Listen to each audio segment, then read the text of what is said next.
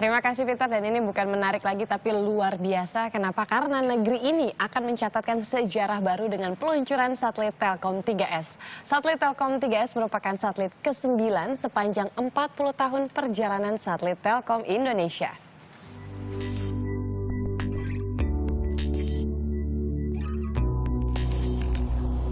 Dua per tiga wilayah Indonesia kini belum terjangkau sistem komunikasi memadai. Sesuai agenda prioritas Presiden Joko Widodo yang tertuang dalam program Nawacita, pemerintah memiliki fokus untuk memperkuat jati diri bangsa sebagai negara maritim.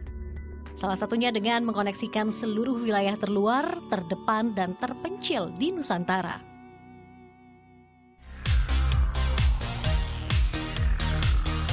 Dukung program pemerintah, Telkom Indonesia akan meluncurkan satelit Telkom 3S Satelit Telkom 3S merupakan satelit ke-9 sepanjang 40 tahun perjalanan satelit Telkom Indonesia.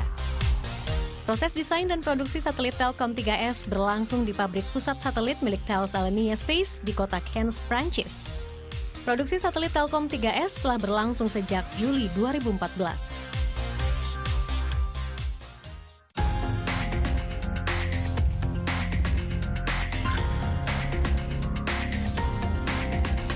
Satelit Telkom 3S akan berada di ekuator posisi 118 derajat bujur timur atau tepat di atas Pulau Kalimantan dan bergerak mengelilingi bumi.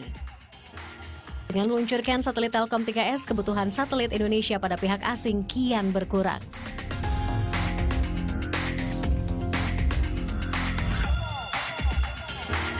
Selamat atas peluncuran satelit Telkom 3S.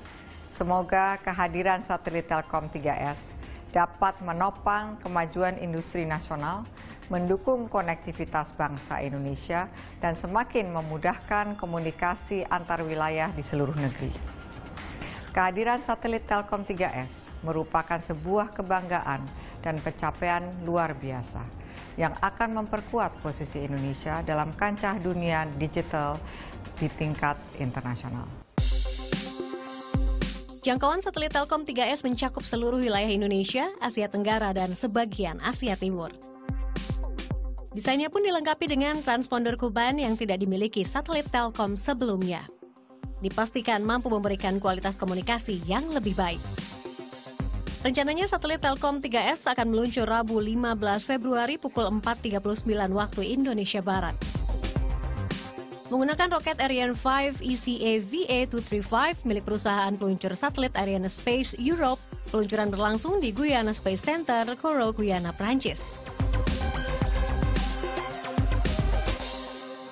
Saksikan detik-detik peluncuran satelit Telkom 3S pada program khusus persembahan Telkom Indonesia untuk Indonesia Rabu 15 Februari 2017 pukul 4.30 hingga pukul 5 waktu Indonesia Barat hanya di net.